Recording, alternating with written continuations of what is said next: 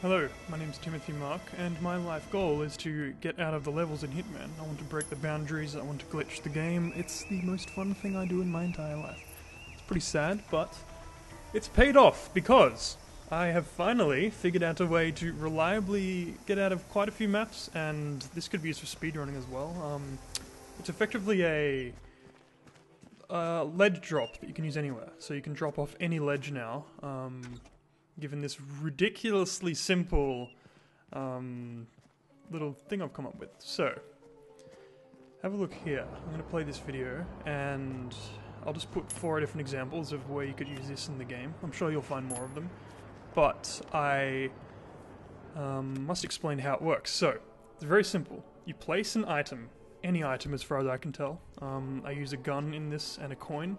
Um, in different parts of the video, but a coin's probably the easiest. You place a coin on the ledge. Um, you'll see this in the video. And then you press pick up coin and vault at pretty much exactly the same time. I press pick up, which is F on the keyboard, um, very, very, very slightly before vault. And what that does is the game takes both inputs, but it does the vault first, plays the full animation, and then since you're on the other side of the ledge, um, 47 picks up the coin, but it skips an animation, and you're stuck on the outside of the ledge. At which point you can drop down and cause various levels of mayhem and chaos when you enter areas you're not supposed to, um, and you exit the map, and you do whatever you want, pretty much.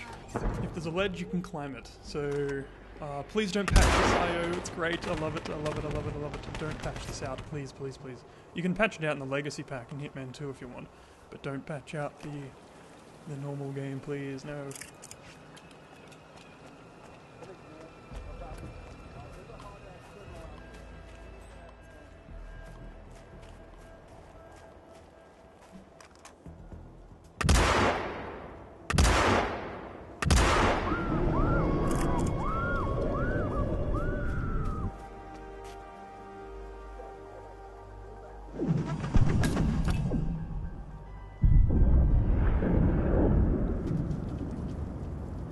Target down. Now it's time for sodas to retire.